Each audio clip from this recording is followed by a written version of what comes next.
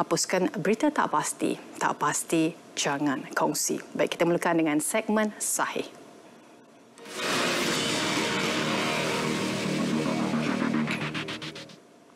Majlis Keselamatan Negara MKN Sabah menafikan telah mengeluarkan memo bertulis dengan tajuk penutupan sementara sebarang aktiviti pelancongan di perairan Timur Sabah. Dalam satu kenyataan yang dikeluarkan, MKN menafikan sepenuhnya pernah mengeluarkan arahan sedemikian. MKN Sabah ingin menegaskan bahawa memo tersebut adalah dokumen palsu dan tidak benar sama sekali. Justru orang ramai dinasihatkan agar sentiasa merujuk sumber sahih berkaitan situasi keselamatan di negeri Sabah dan tidak berkongsi berita palsu yang boleh menggugat keselamatan negara melalui mana-mana saluran. Suruhanjaya Pencegahan Rasuah Malaysia SPRM Selangor hari ini mendedahkan penjawat awam merupakan kumpulan tertinggi di tahan Suruhanjaya itu bagi siasatan berkaitan kesalahan rasuah penyelewengan dan salah guna kuasa antara 2018 dan 2022. Pengarahnya Datuk Alia Salim berkata, berdasarkan rekod seramai 170 penjawat awam telah ditahan. Diikuti 84 tangkapan melibatkan pekerja swasta, 50 orang awam dan masing-masing 5 ahli politik serta individu daripada syarikat berkaitan kerajaan GLC. Katanya sepanjang tempoh tersebut sebanyak 314 tangkapan yang dibuat sebelum ini menunjukkan tahun 2022 merekodkan tangkapan tertinggi iaitu sebanyak 72 tangkapan diikuti 2018 sebanyak 66 tangkapan dan 2021 63 tangkapan. Jelasnya lagi daripada jumlah tangkapan itu pihaknya telah membuka 269 kertas siasatan berkaitan kes rasuah dengan 135 pertuduhan di mahkamah alias menambah tahun 2020 menunjukkan pembukaan kertas siasatan tertinggi sepanjang tempoh 5 tahun tersebut iaitu 64 kertas siasatan diikuti 2019 sebanyak 57 siasatan dan 2022 pula 50 siasatan.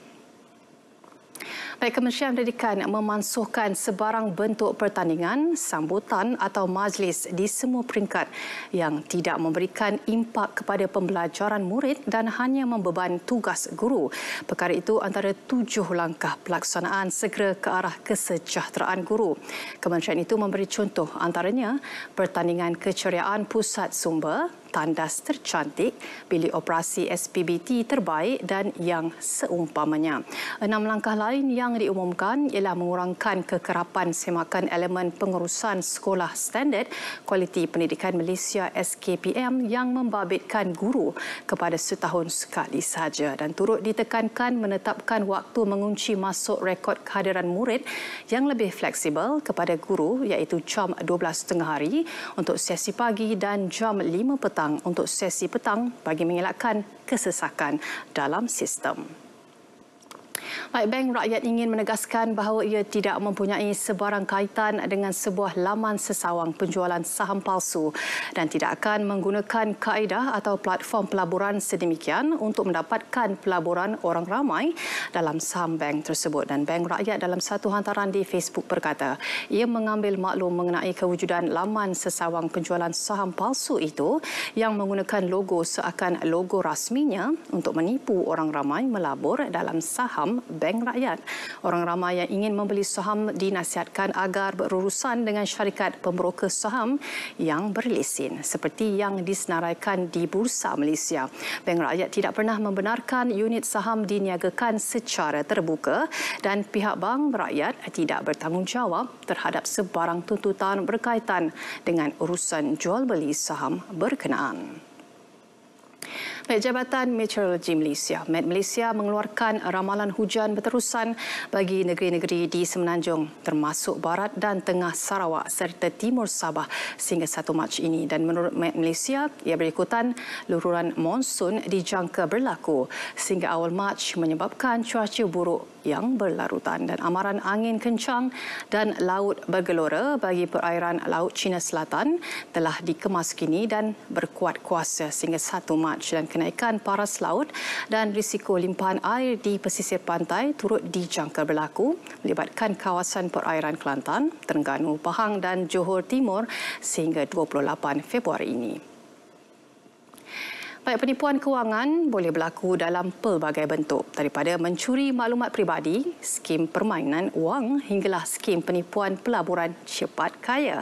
Penggunaan kaedah bekerja dari rumah yang meningkatkan penggunaan komputer dan internet untuk pelbagai tujuan turut membuka peluang kepada penipu mengorek wang daripada mangsa. Dan iklan profesional dipaparkan di media sosial pula menyukarkan mangsa untuk membezakan sama ada ia benar atau sebaliknya. Dan jika bernasib baik, mangsa dirujuk ke laman sesawang palsu. Dan untuk itu, orang ramai diminta agar berwaspada dengan iklan pelaburan di media sosial dan pastikan anda menyelidik dahulu mengenai pelaburan yang ditawarkan sebelum melakukan apa-apa pelaburan. Dan antaranya dengan merujuk ke kepada pautan senarai peringkatan pelabur, senarai amaran pelabur dan semak mule. Baik, pastikan sahih berat seketika. Kita kembali lagi selepas ini dengan segmen semasa.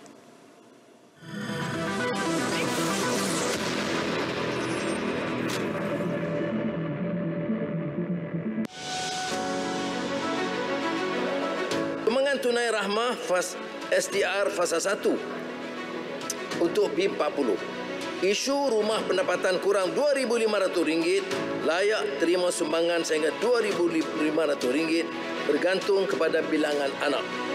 Kerajaan juga akan memberi sumbangan tambahan RM600 juta ringgit kepada isu rumah is, uh, kepada isi rumah penerima SDR termiskin mengikut data IKASI.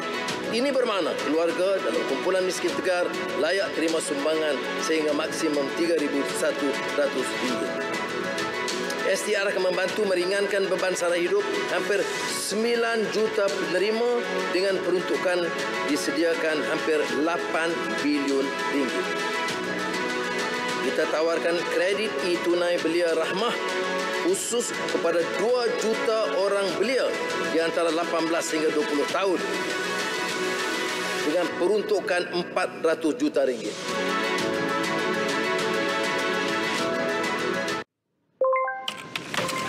Dalam kita membangunkan aplikasi yang memberi kesejahteraan kepada negara, ada yang menyalahgunakannya. Sejak kebelakangan ini, terdapat peningkatan ketara dalam penyebaran maklumat atau berita palsu yang boleh menimbulkan kekeliruan dan kegusaran di kalangan masyarakat. Ancaman berita palsu tanpa verifikasi sumber, fakta dan maklumat memberi impak serta implikasi negatif kepada rakyat dan negara. Sebarang penyebaran berita palsu akan dikenakan tindakan undang-undang serta didakwa mengikut Seksyen 505 Kanun Kesiksaan dan Seksyen 233 Akta Komunikasi dan Multimedia 1998 denda maksimum RM50,000 atau penjara tidak melebihi satu tahun atau kedua-duanya dan juga denda selanjutnya setiap hari kesalahan berjumlah RM1,000. Bersama, cegah berita palsu. Sebar fakta, bukan dusta. Tidak pasti, jangan kongsi.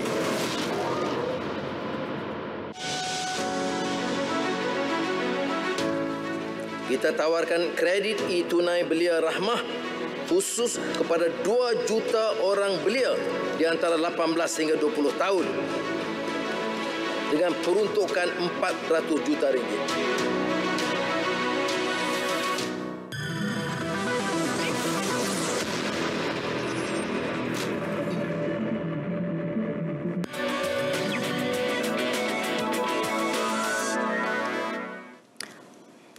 Baik, langkah kerajaan persekutuan memperuntukkan sebanyak 300 juta ringgit bagi menaik taraf Jalan Tun Hamzah ke persimpangan Semabut, Lebuh AMG Melaka tengah disifatkan sebagai suatu langkah menyelesaikan masalah kesesakan jalan raya sekaligus memacu pelancongan negeri. Esko Kerja Raya Pengangkutan dan Kemudahan Awam Melaka, Datuk Rahmat Mariman berkata projek naik taraf itu akan memberi pilihan alternatif kepada pengguna bagi mengelak kesesakan untuk ke bandara yang Melaka.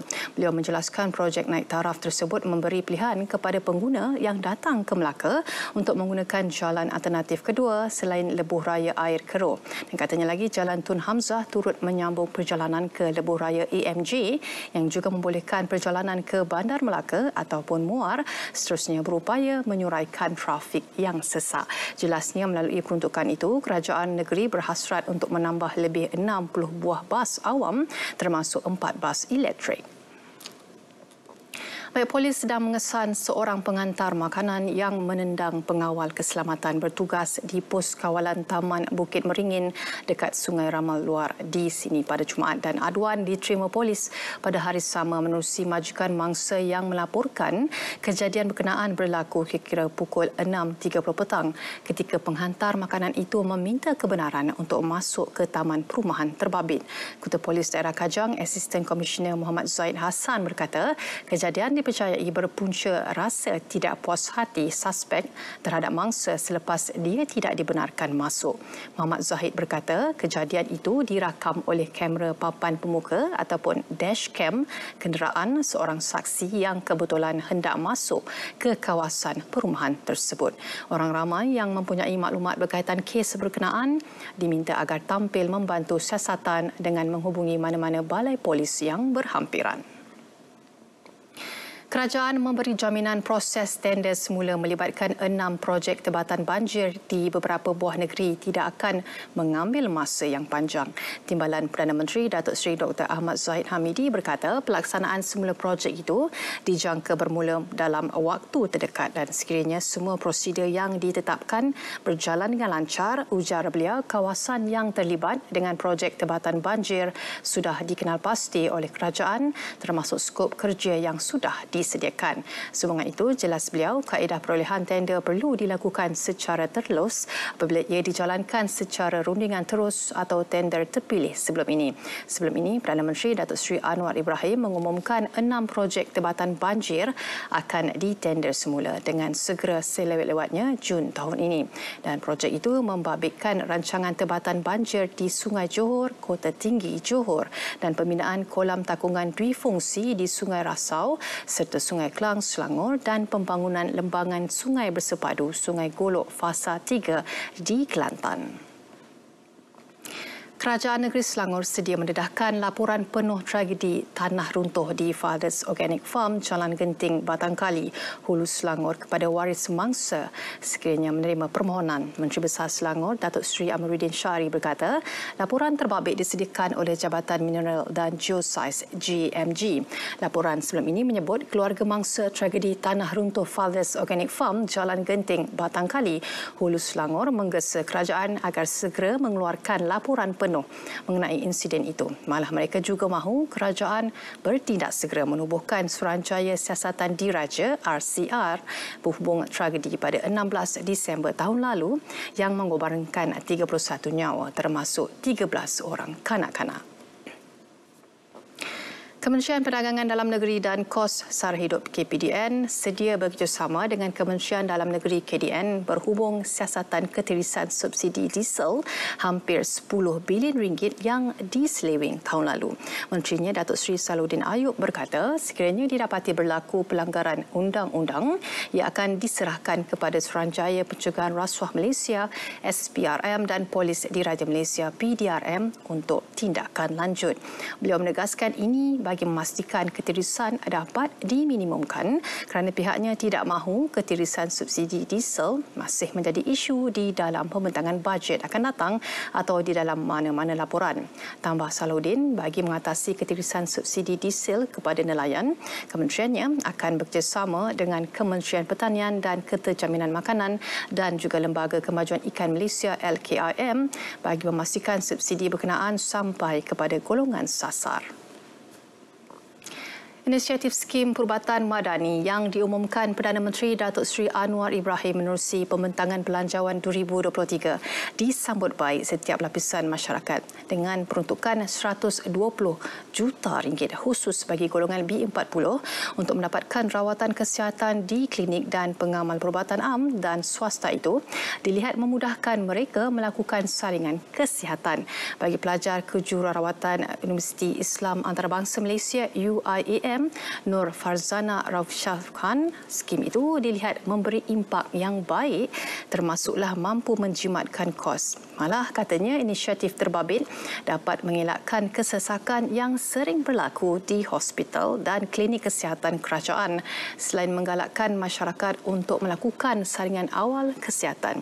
Sementara itu, bagi pesara kerajaan Abdul Aziz Awang, 79 tahun berkata, pelaksanaan skim itu dapat memberi kemudahan kepada masyarakat masyarakat yang berpendapatan rendah untuk mendapatkan rawatan yang lebih baik.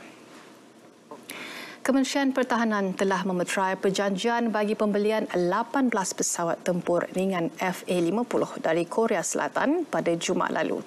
Timbalan Menteri Pertahanan Adli Zahari berkata dengan pertambahan aset baharu itu akan dapat meningkatkan kesiapsiagaan ATM dalam menjaga keselamatan negara.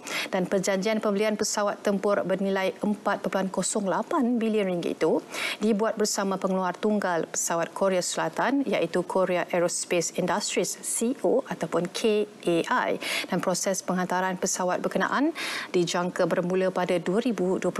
Adli memaklumkan demikian kepada pemberita selepas merasmikan Pusat Hikmat Rakyat Parlimen Alu Gajah di Durian Tunggal, Melaka.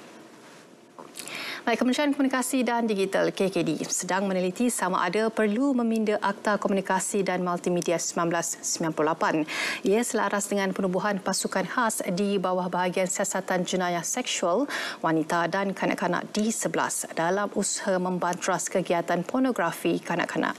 Menterinya Fahmi Fazil berkata beberapa undang-undang berkaitan perlu diteliti semula dalam usaha melindungi golongan kanak-kanak dan wanita daripada pornografi dan kegagalan keganasan seksual. Fahmi berkata perbincangan tentang keperluan meneliti semula beberapa undang-undang khusus mengekang penyebaran pornografi kanak-kanak dan keganasan seksual telah dimulakan di peringkat kabinet. Jelasnya lagi pengumuman penuh mengenainya akan dilakukan apabila selesai sesi libat urus bersama pelbagai kementerian lain. Perdana Menteri Datuk Seri Anwar Ibrahim ketika membentangkan belanjawan 2023 mengumumkan sebuah pasukan khas akan ditubuhkan di bawah D11 Polis di Raja Malaysia.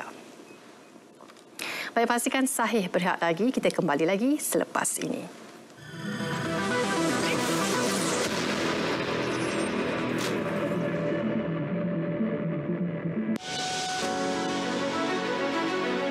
Pengangkutan rel dan bas di bawah prasarana kerajaan meneruskan inisiatif PAS bulanan MY50 dan kepada Kementerian Pengangkutan kerana ia memberi manfaat kepada 180,000 pengguna. Cara rintis memperkenalkan PAS perjalanan tanpa had My BAS50 untuk manfaat rakyat Johor baru yang menggunakan perkhidmatan bas henti-henti di bawah program SPST. 180 juta ringgit program SPST, SPST termasuk luasan pelaksanaan program ke Bandar Melaka, Kuching dan Kota Kinabalu.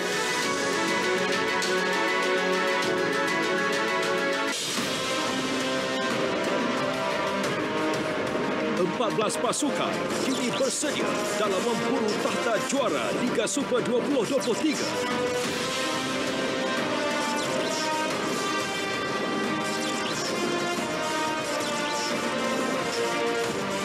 Nantikan aksi-aksi pertempuran yang dibawakan dalam 52 perlawanan secara percuma di saluran RTM bersama RTM rakan penyiar MFL Liga Malaysia 2023.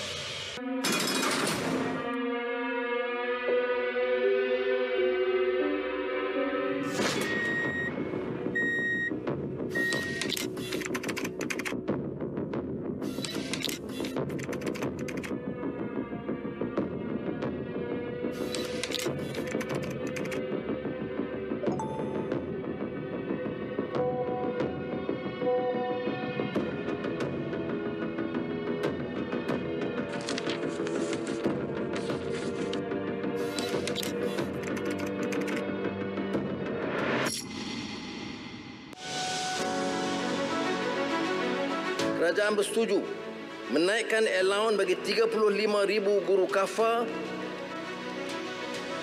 menaikkan menjadi RM1,100 dengan peruntukan tambahan lebih 40 juta ringgit. Memberikan sumbangan khas RM600 kepada imam, Bilal, Usia, Noja, Marbut, Guru Kafa dan Guru Takmir. Seramai 70 ribu orang akan menerima sumbangan ini melibatkan lebih 40 juta ringgit.